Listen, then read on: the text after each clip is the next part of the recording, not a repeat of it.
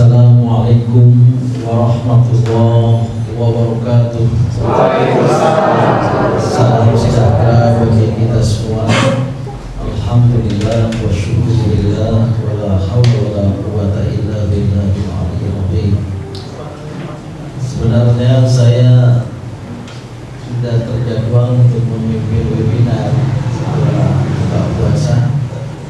Namun karena sahabat baik saya Pendeta Supir dan Dr.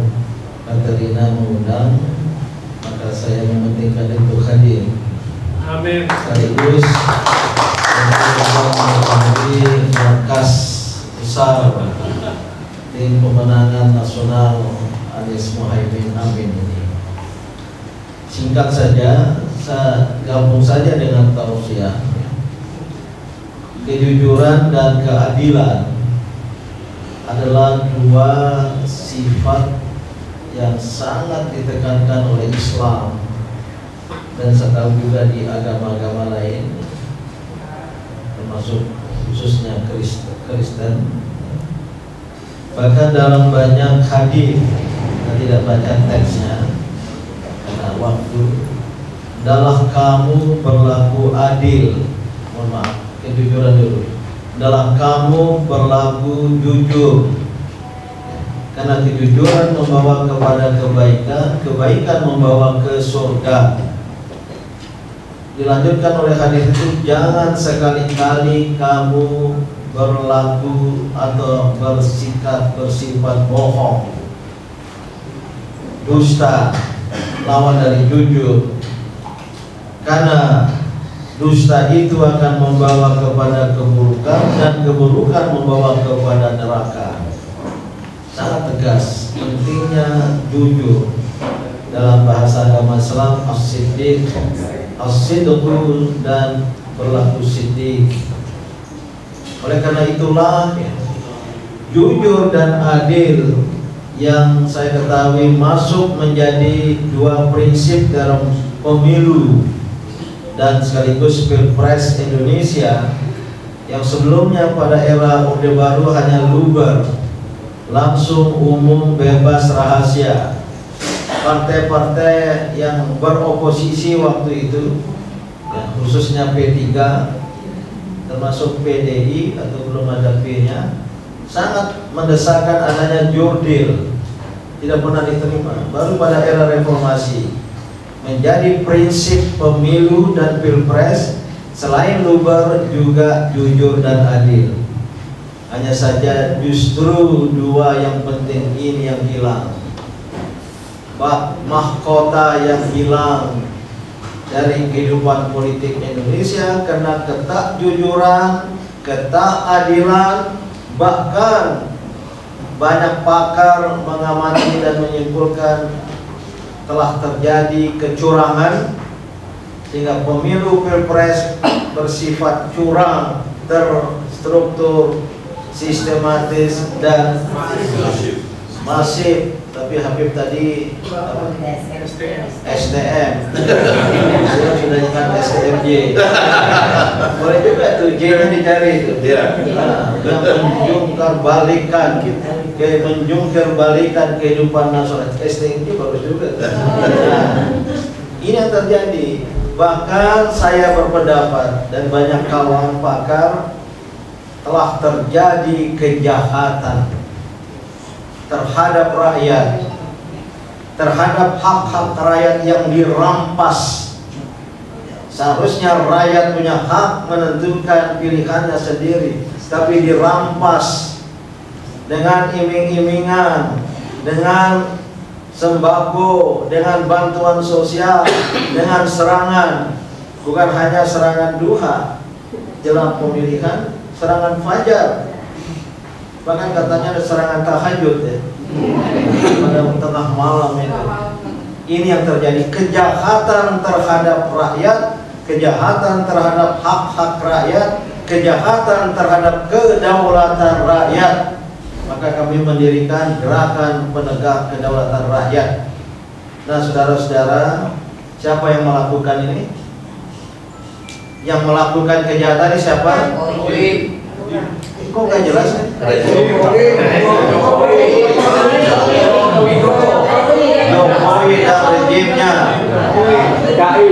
Ada seorang presiden bahkan membagi sembako di depan istana. Padahal tidak termasuk dalam APBN. Itu pelanggaran konstitusional. Bahkan berusaha untuk merekayasa hukum. Ini dari 03 ya sehingga putranya bisa menjadi calon wakil presiden bahkan belum genap usia yang ditentukan oleh undang-undang. Ini sebuah pelanggaran dan kejahatan. Maka sebenarnya kita tidak hanya ingin berlaku jujur dan adil, tapi menegakkan keadilan dan untuk menegakkan keadilan itu sumber masalah harus dipotong. Setuju? Setuju dekat buka puasa sudah lemas semua.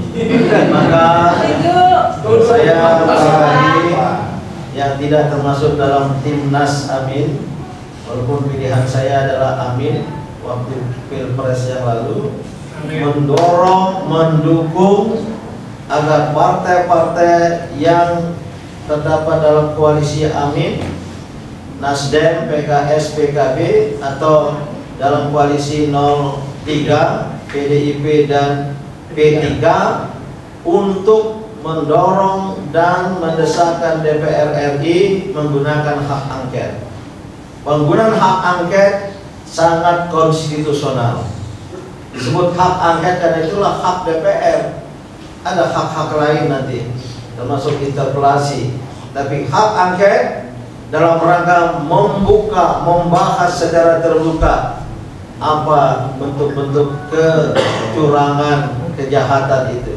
Maka seharusnya tidak ada partai politik yang menolak. Kalau dia benar, kalau mereka benar, saudara menolak. Biar habis-habisan buka. Maka mudah-mudahan ini menjadi kenyataan.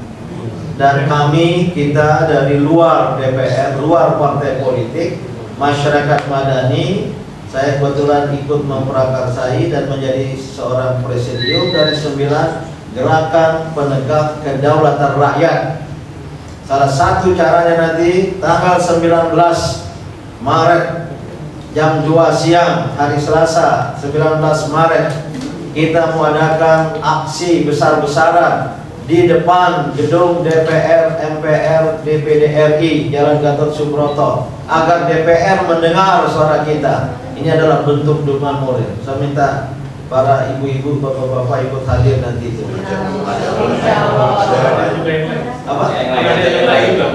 Oh, mengajak yang lain. Alhamdulillah 45 simpul-simpul masa di luar kelompok kami, organisasi kami, insya Allah bersetuju.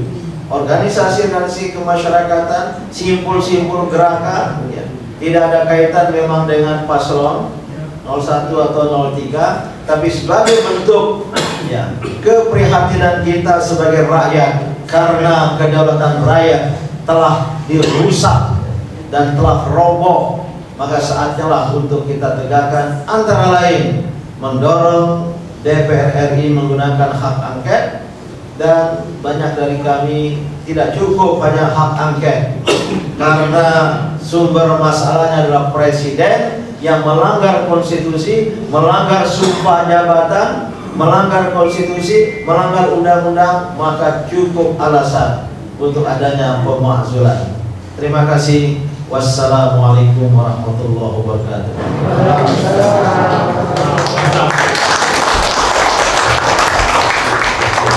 Terima kasih Pak Din. Uh, pokok pikiran yang merupakan rangkaian. Maaf, lebih 5 menit. Oh, apa-apa karena digabung dengan tausiah. ya, ya, ya. Baik. Jadi Bapak Ibu kita masih ada waktu untuk uh, sebelum kita berbuka. Saya uh, langsung saja buka ruang dialog. Bapak Ibu yang ingin bertanya ataupun mungkin menyampaikan pikiran. Ada mic satu lagi? Ada. Nah, ya. Ya, silakan. Angkat tangan. Satu, dua, tiga. Ya. Nama dan dari mana? pertama tiga orang dulu ya. Oke terben berikut uh, yang berikutnya. Ya, saya Edi dari rakyat mereka uh, saya setuju dengan pendapat Pak Adin bahwa paket ini perlu disuarakan. Cuma semacam maju mundur nih Andi ya kan? Karena eh, partai-partai yang di 01 atau di 03 masih ada yang menjabat di pemerintahan Pak Jokowi nah ada yang mengusulkan kalau biar lebih tegas menteri-menteri tersebut mundur saja keluar dari pemerintahan agar lebih tegas karena ada yang mengatakan bahwa jangan-jangan ini eh, hak angket ini hanya sebagai alat bargaining karena mereka masih ada di dalam pemerintah Pak Jokowi. Kalau memang tegas, keluar saja mereka. Seperti menteri dari Nasdem, mungkin menteri dari PDIP itu keluar aja. Dari P3 juga keluar.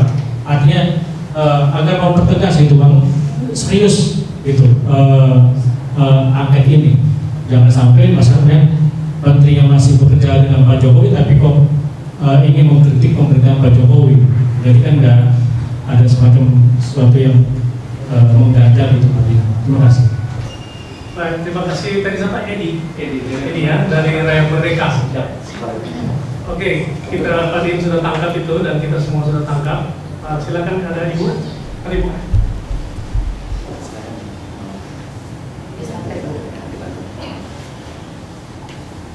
Assalamualaikum warahmatullahi wabarakatuh. Saya Bu Rizky dari kelompok relawan PKS Cipayung.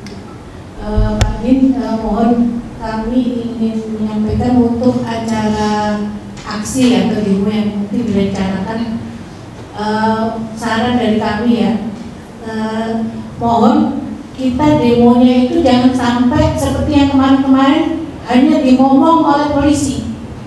Kita demo demo berhari-hari demo tapi tidak ada aksi apa-apa dan kesannya kita dimomong.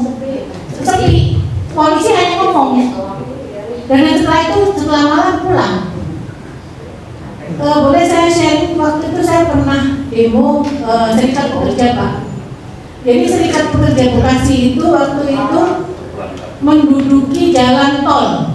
Jalan tol di Bekasi itu diduduki berhari-hari nginep dan tidur di situ dan dikoordinir. Yang ibu-ibu menyediain air dari dari rumah menyediakan dana dan sebagainya. Yang anak-anak muda tidur di situ berhari-hari sampai dikabulkan e, permintaannya. Jadi jangan sampai kayak kemarin-kemarin Pak kalau kami lihat hanya demo datang malam pulang itu cuma dimomong aja Pak sama polisi. Kayak gitu. Jadi mohon nanti dikoordinir dengan baik. Kalau bisa duduki terus berhari-hari. Ada yang bagian tidur di situ ada ada yang bagian mem- memberikan makan. Pengalaman kemarin dulu saya pernah jadi demo di serikat pekerja ya Pak. Dan akhirnya tuntutan kami waktu itu eh, undang-undang 13 dikabulkan oleh pemerintah karena itu terkoordinir. Yang tidur di jalan tol itu terus bergantian. Yang anak-anak muda yang ibu-ibu menyediakan makan, menyediakan minum, urunan, uangnya kita kumpulin kayak gitu terkoordinir Pak. Tapi terus nggak jangan pergi-pergi sampai dikabulkan itu permintaan. Jadi tidak dimomong sama polisi, nggak kayak kemarin tuh hanya dimomong aja Pak. Baik. Itu aja Pak.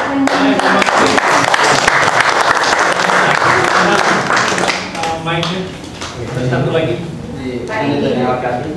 ya. Bismillahirrahmanirrahim.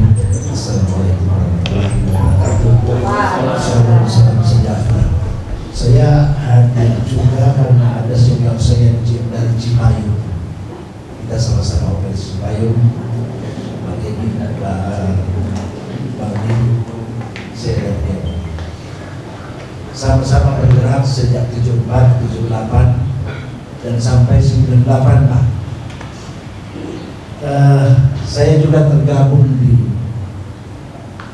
F Forum Komunikasi Forum Pen- Penegak Kedaulatan Rakyat Gerakan Gerakan Gerakan GPKR ya. Jadi kebetulan dengan keterbatasan dari panitia meminta kami cuma dibatasi pada saat ini hanya tujuh orang ketua dan kami datang cuma tujuh.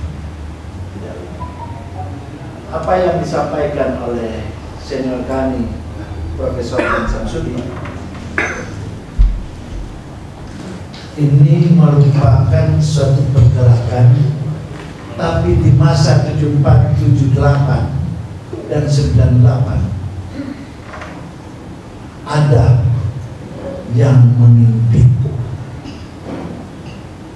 Ketika saya hadir pada acara bersama K3 saya lihat banyak jenderal berapi-api masih kalah Pak berapi-apinya dengan kita di 74 78 karena pada 66 setelah Arif Rahman Hakim meninggal itu kunci jatuhnya Bung Karno. Dan 98 ketika ada yang meninggal dari Trisakti itu kuncinya jatuh Pak Harto. Tapi ada pemimpinnya. Sama ketika kita masih berbicara siapa pemimpinnya hari besok yang nanti 18, 19, 20 tidak hanya sekedar omong-omong turun maju saya mimpin Pak. 158 dan saya sama masih alumni GMI full alumni UI Garuda Merah Putih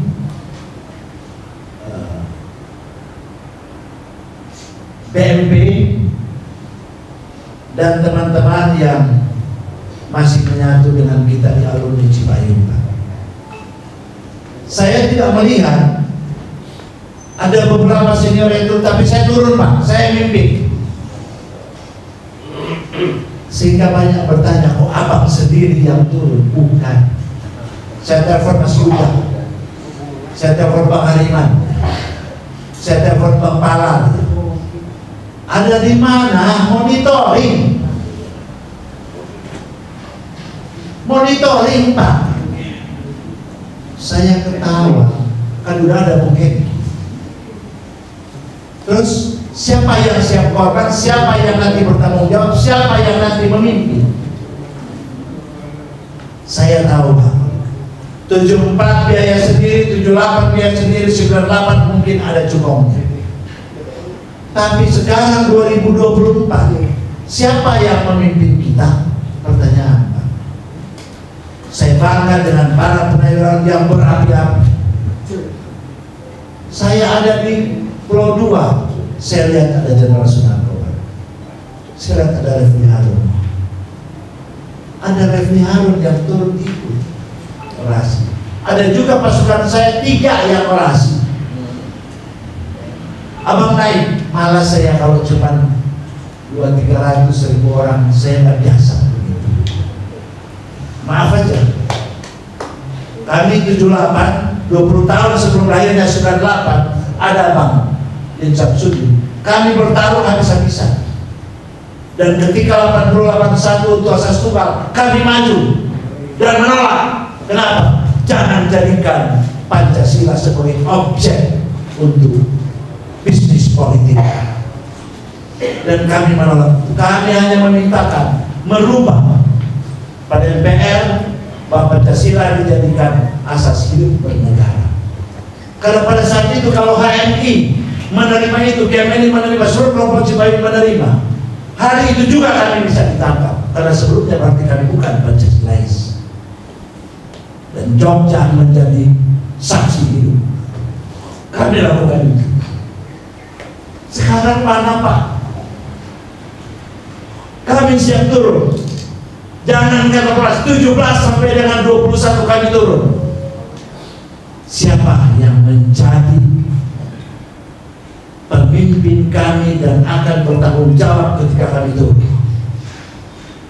Karena ketika didor, ketika ada yang pingsan, ketika ada yang mati mana para senior mampukah saya sendiri saya mohon bantuan kami UI kemarin untuk mempersiapkan ambulans. Dan sampai saat ini saya juga masih hadir di sini. Artinya kami tidak perlu belajar tapi kami didorong dan pimpin kami untuk berbuah Betul, yes.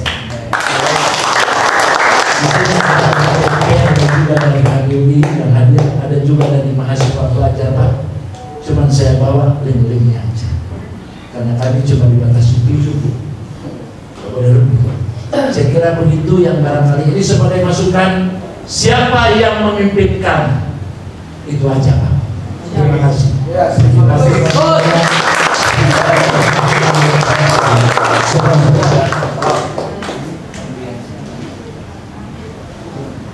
Tadi dari Bapak Edi ada kegamangan sehingga hak angket kayak seperti tarik ulur.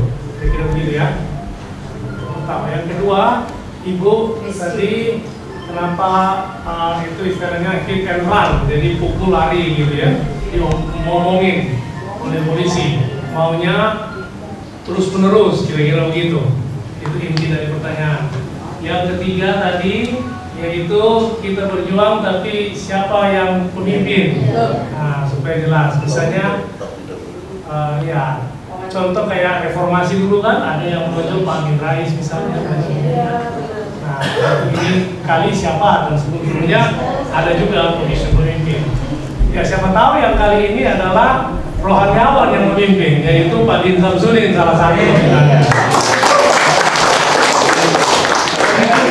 ingat dulu Gus Dur bilang, Gus Dur pernah bilang, kenapa rohaniawan dilarang menjadi politisi? Justru kalau rohaniawan kayak Gus itu jadi politisi, itu jadi lebih bagus itu bangsa daripada yang bekas preman kemudian menang pemilu atau karena ada oligarki di baliknya akibatnya ya. Nah sementara kita sementara dibawa pada perjuangan yang lebih murni kan? Saya rasa uh, ini baru mungkin mungkin saja ya belum belum. Tapi intinya bahwa uh, ada sebagian orang membutuhkan ada juga yang memimpin di depan. Ini semua rohaniawan juga ini kayaknya ini. Nabi ini pendeta ini uh, apa? Lebih dari ustadz ini. Ini penasehat kami kira itu inti pertanyaan tadi. Uh, apa kami mau jawab juga? Tapi Dewi kami persilakan. Rupanya semakin sore semakin hangat. Yang rohaniawan itu yang pakai kubah. Ya pertama hak angket yang sangat penting sekarang ini yang harus dilakukan oleh DPR RI maka partai-partai politik yang ada wakilnya di parlemen sana fraksi lewat fraksi-fraksinya harus berketetapan hati untuk mendaftarkan penggunaan hak angket. Sebagai pengamat politik, kebetulan saya dosen di FISIP UI Negeri, UI Negeri itu UIN. Meyakini bahwa 3 plus 2 partai politik pengusung paslon 01 dan 03 akan mengajukan hak angket. GPKR sudah diterima oleh DPP PKS langsung oleh Presiden PKS Pak Syaihu berketapan hati bahkan sudah memulai kalau tidak salah pada tanggal 5 yang lalu. Nah partai-partai lain saya mendengar akan menunggu pengumuman hasil pemilu dulu yang menurut jadwal pada tanggal 20 oleh karena itu kepada kita semua rakyat Indonesia apa pun paslon yang kemarin mari secara moral kita mendukung partai-partai politik untuk menggunakan hak angket kan inilah cara jalan supaya kontroversi tentang kecurangan-kecurangan ini dapat diselesaikan. Dan sekali lagi saya balik bertanya, jika merasa diri benar, mengapa takut untuk menggunakan hak angket? Nah, yang kedua, memang aksi-aksi selama ini sudah dekat waktunya ya. belum Belum. Ibu yang sudah ikut terlibat dalam aksi-aksi yang lalu jangan merasa kecewa dan apalagi kehilangan asa ah kalau begitu begitu lagi saya nggak mau ikut itu namanya putus asa yang dilarang oleh agama agama. Anggaplah aksi-aksi kemarin tanggal 1, 2, 3, 4, 5 Hari ini gak ada ya? Atau kapan lagi? Ada. Ada. Setiap hari. Tiada hari tanpa aksi. Anggaplah sebagai latihan Atau sebagai prakondisi. Pre-conditioning.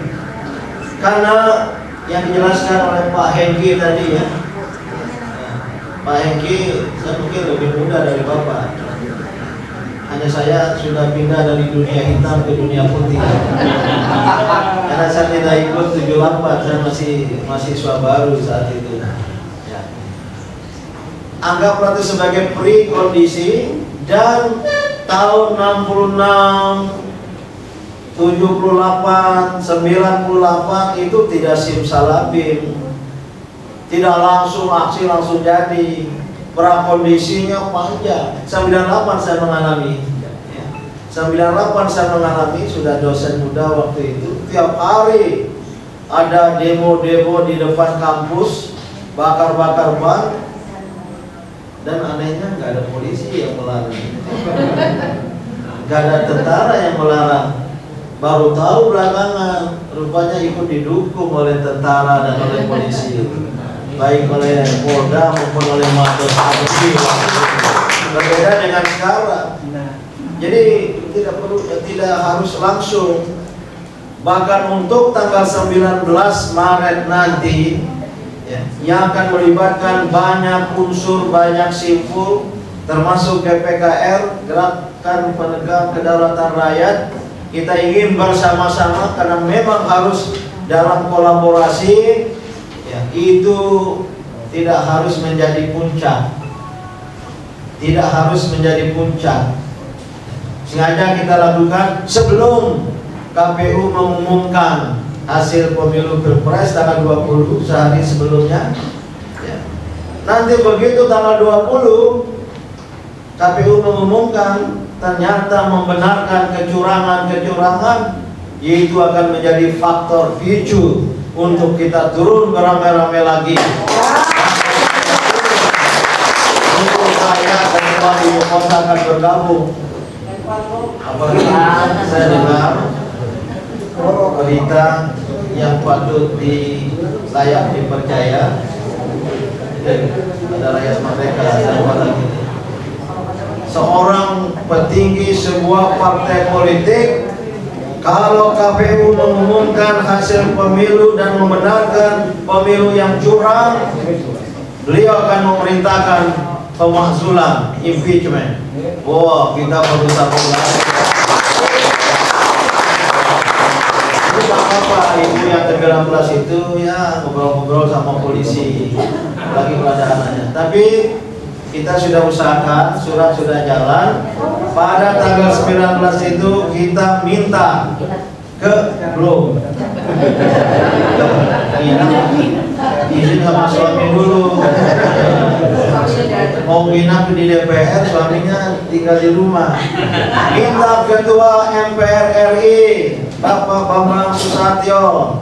Ketua DPR RI Ibu Puan Maharani. Ketua DPD RI Bapak Lanyala untuk keluar dan menyambut dan menerima ya, pernyataan bersama kita dan kita minta berorasi singkat.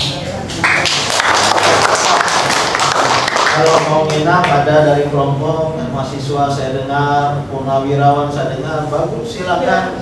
Ya. Cuma harus ada yang membantu nanti makan sahurnya Membantu buka puasa bagi yang muslim. Tapi juga harus ada yang membuka pintu DPR Kalau dulu dibuka Mohon maaf Saya mengetahui Saya di sebuah partai politik Wakil ketua fraksi saya di MPR waktu itu. Ada yang buka jalan Sehingga lancar jalannya dan harus minimal waktu itu 7000 mahasiswa. Menginap kalau hanya 200 300 udah diusir oleh apa petugas keamanan gedung MPR DPR DPD RI itu. Jadi kalau belum sampai ke situ ibu jangan kecewa. Apalagi putus asa oh gini-gini aja. Apalagi tadi ngomongnya? Mau oleh polisi perjuangan berjangka panjang. Perjuangan berjangka panjang.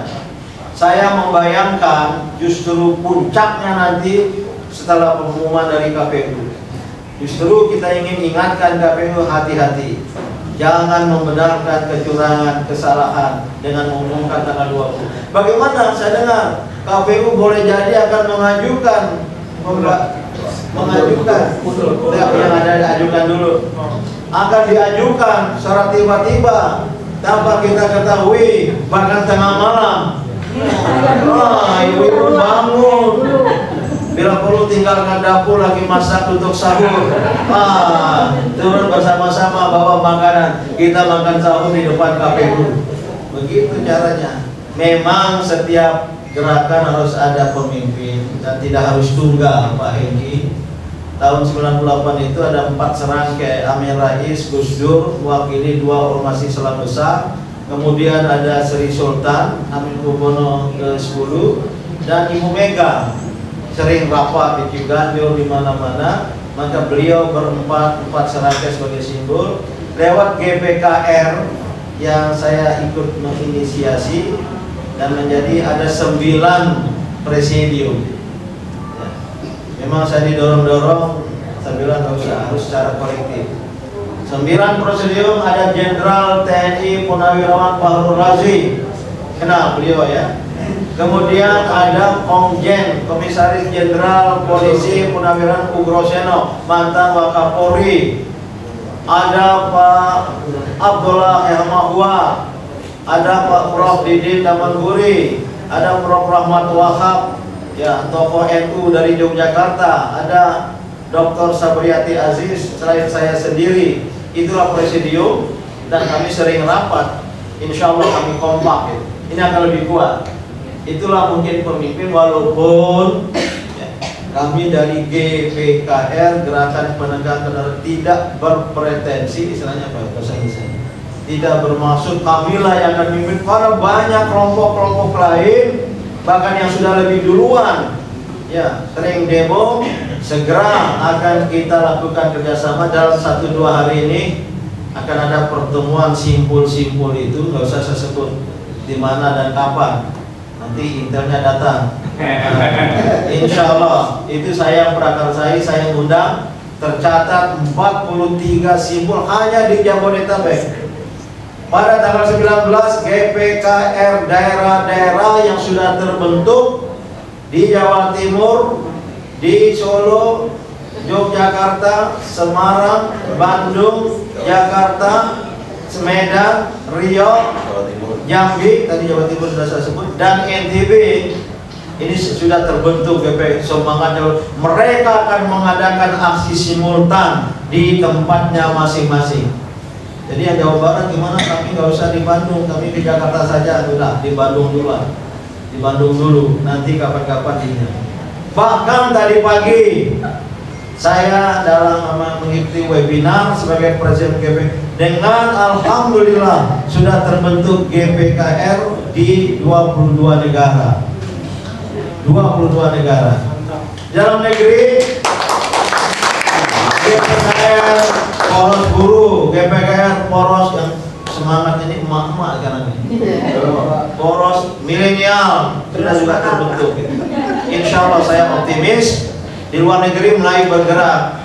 Ya, bilang tadi pagi apa Pak Din yang perlu kami lakukan? Ya, bilang sebarkan berita ini.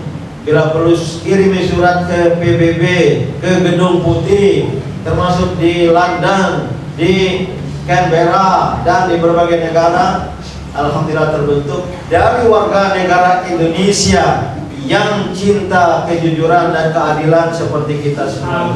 Inilah yang akan kita lakukan dan marilah khususnya umat Islam yang berpuasa pada bulan Ramadan ini tetap optimis. Perjuangan tidak boleh pesimis. Perjuangan harus tetap optimis. Dalam bahasa Inggris we are at the point of no return. Oh, ikuti saya. We are at the point of no return. Kita berada pada titik tidak ada titik kembali. Oleh karena itu, mari ikut bersama-sama.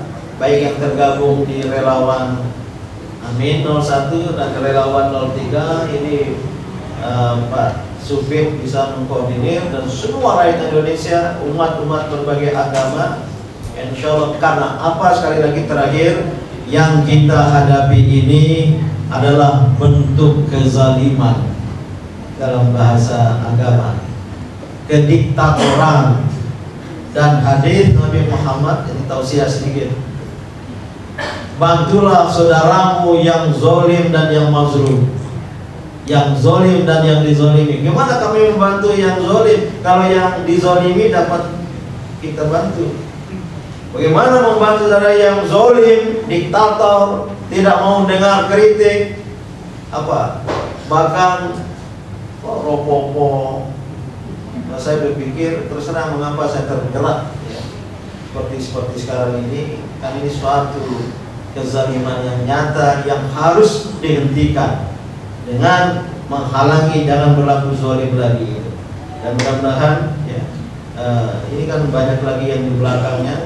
Bergabung semua dan tunggu berita-berita setiap hari tanpa aksi tapi ada aksi pamuncak aksi pamungkas yang perlu kita lakukan dan saya berkeyakinan ya, kemenangan akan segera tiba. Tidak cukup dengan semangat, harus ada kecerdasan dalam perjuangan ini. Yang kita hadapi ini bukan lahan kosong. Ada 220-an juta umat Islam di Indonesia ini. Yang bersetuju dengan kita berapa juta? Harap diketahui Kebetulan saya berada di ranah ini. Saya pernah menjadi ketua umum MUI, ketua Dewan Pertimbangan MUI 2015-2010. Tidak semua ormas Islam mau ikut, Mas. Maka harus disadari. Jangan-jangan berada di pasukan yang akan menghadapi kita. Saya tidak mau kalau umat Islam jadi korban dari permainan. Katanya, Anda berapa pasukan yang seperti Anda? Anda siapkan, Mas Dore. Bagaimana bagaimana para pemuka di depan itu menggerakkan kami? Insya Allah kami pertama. Jangan tanya kami berapa. Makanya yang kalau mau ikut arahan pimpinan, saya minta ya, semuanya dan saya selalu menghadapi ada kecenderungan saling menyalahkan, menegasi, menihilisasi. Wah, kalau begitu-begitu aja, yang bukan Anda, tempat lain. Ini mentalitas perjuangan yang keliru. Jadi kalau mau mengajak menganggap bahwa kesembilan orang sebagai pimpinan, ya dengarlah arahannya Oh enggak, kami ingin merancang, silakan. Berapa orang kesempatannya, kekuatannya? Itu sudah 6000 brimob disiapkan. Nah ini yang kita tidak siap, belum siap. Maka jangan dengan semangat saja, perlu kecerdasan, perlu strategi. Jangan di DPR, kita harus di KPU. Sebelum pengumuman KPU kalau ada yang merangsek KPU, itu adalah suatu kriminalitas demokrasi. Terus terang saya katakan, kalau sebelum ada pengumuman, nah, belum ada pengumuman kita sudah maka 19, 18 ini di KPU di sana itu lebih kepada warning, ya prakondisi. Kalau sudah apa tujuan kita dalam ini? Ini harus tekanan politik, people's power, ya tapi kalau people sport itu harus mayoritas. Ini hari-hari ini saya menghubungi kelompok-kelompok umat Islam mana-mana, nggak semua mau. Tolong disadari itu. Capek. Kalau saya diam, nggak ada yang berbuat menghubungi-menghubungi sampai klaim segala macam gitu. Inilah kondisi kita. Maka kita jangan lemah semangat, tapi tidak cukup semangat harus ada kecerdasan, taktik dan strategi. Saya tahu banyak purnawirawan yang ingin merengsek masuk harus masuk wah nggak ada jalan lain. Jangan ngomong-ngomong. Kira ngomong-ngomong itu penting loh. Mana kalau nggak ada orasi kalau ini mau? Apa yang mengarahkannya?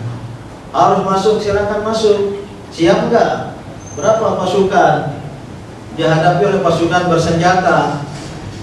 Yang menghadapi kita pasukan bersenjata. Maka arah dari Party itu satu. Bagaimana meyakinkan MPR khususnya agar mereka berketetapan hati mengirim surat kepada presiden Anda mundur. Itu 98 ya. Datang mahasiswa di sana. Ya tolong dengar dong.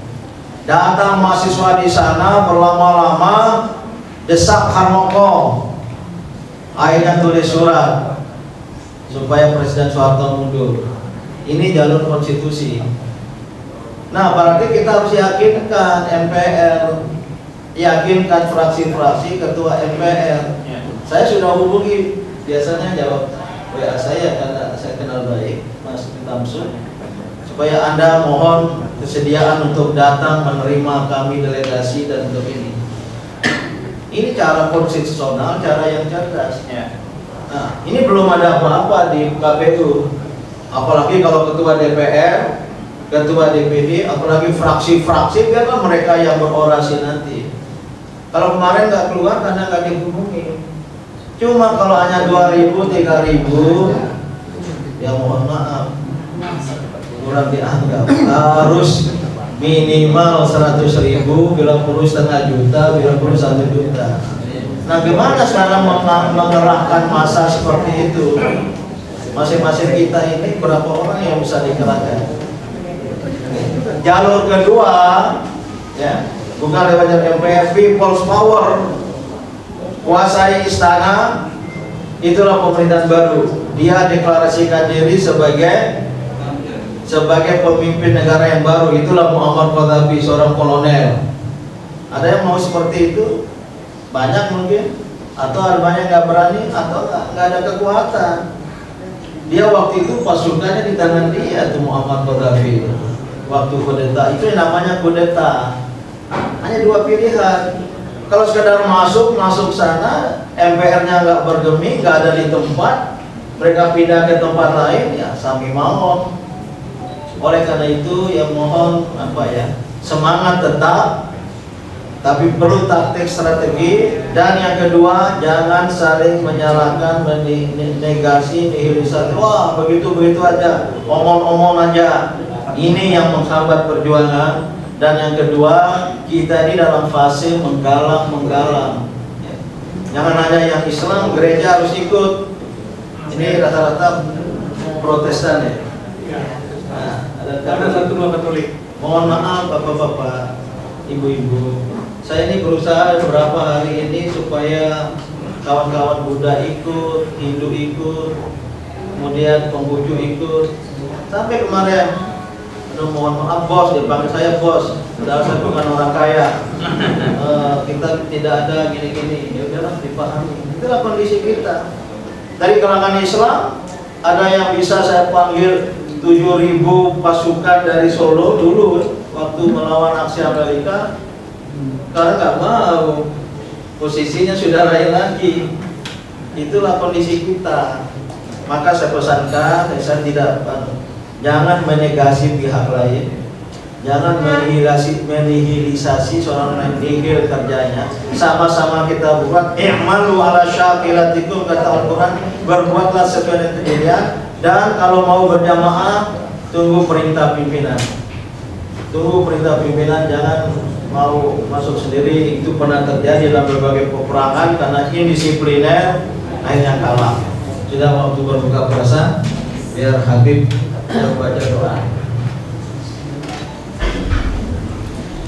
أشهد أن لا إله إلا الله أستغفر الله نسألك رضاك والجنة.